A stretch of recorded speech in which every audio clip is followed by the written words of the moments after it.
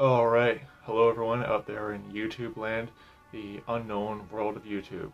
Just gonna do a video about charismatic uh, experiences over scripture and how they just love their experiences and they love their unscriptural uh, practices that come from Satan, basically. Charismatic uh, speaking in tongues is nothing more than just devil possession and spoke by uh, Dr. Peter Ruckman called Why I'm Not a Charismatic. Uh, interesting book. I haven't read the whole thing yet, but uh, I highly recommend it. It's part of a series of books uh, about, you know, one is called Why I'm Not a Catholic, Why I'm Not a Calvinist, Why I'm Not a Campbellite, Why I'm Not a Seventh-day Adventist, Why I'm Not a New Age Global Citizen. Just going over these heretical cults and showing why he's not part of them. And of course, the charismatic movement is a heretical cult. The charismatic movement gets their ability from hell.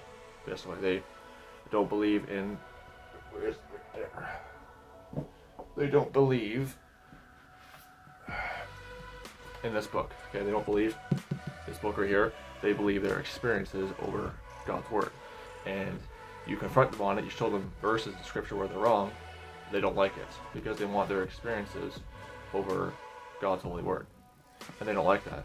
And they want to flip around and flop around the floor like a bunch of fish and, and bark like a dog and if you call them out, they'll say you're blaspheming the Holy Ghost.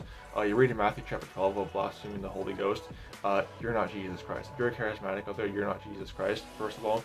Secondly, uh, you read it in context. Jesus Christ is saying, neither in this world nor the world to come. Okay, what's that? The millennial kingdom. You can't blaspheme the Holy Ghost unless Jesus Christ is physically on the earth. But of course, the charismatic cult out there, they don't want to adhere to the Word of God. They like ripping verses out of context and prove their heresies.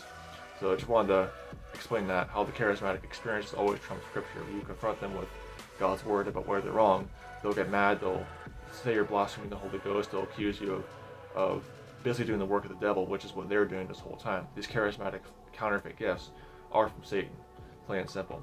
So just a quick video I want to do about these charismatic encounters and experiences.